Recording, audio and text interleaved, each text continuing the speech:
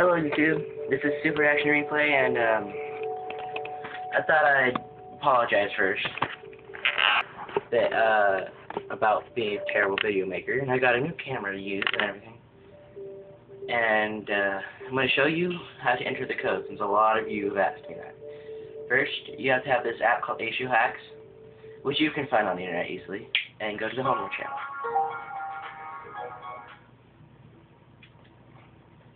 It's pretty simple.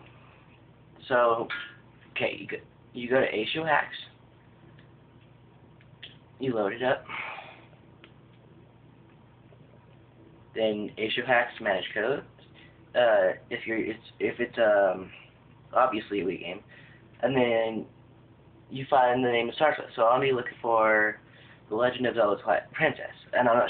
sometimes it'll be just Legend, so just do that. Yep, Legend of Zelda Twilight Princess. I already have it, but if you click Accio Hacks, uh, you can look for it. You search what region you are. I'm in the U.S., so I'll click that. Then I look for it, and it's right there. I click A, and I download it. Download complete. Now, I enter the codes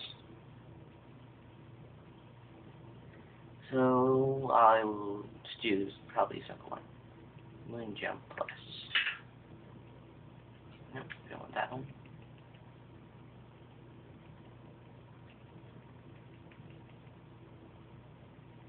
How uh, I got I have version two. A version two, hold on. Kill yourself. No, stupid code. Okay, now in version 2 close. Moon jump. Alright. Moon jump. It's simple. And then you press B. Yes, save and create in GCT, which is where it stores your codes. Now, exit the Homebrew channel.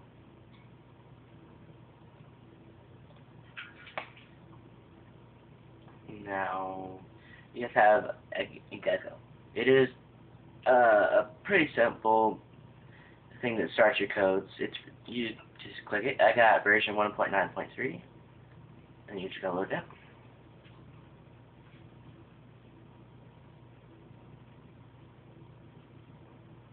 Launch game. It might glitch out because it does that sometimes. I don't even know if I have the game in. So, I know, epic fail. Yes, I have it. Don't you look at that. It's inside.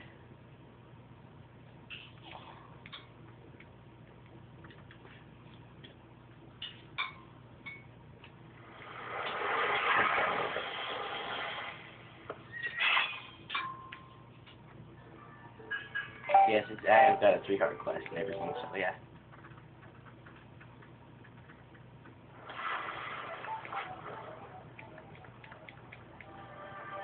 If it worked. Yep. See?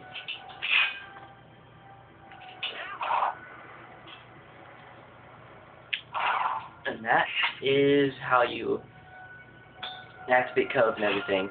Like, subscribe, and comment. Thank you. Goodbye.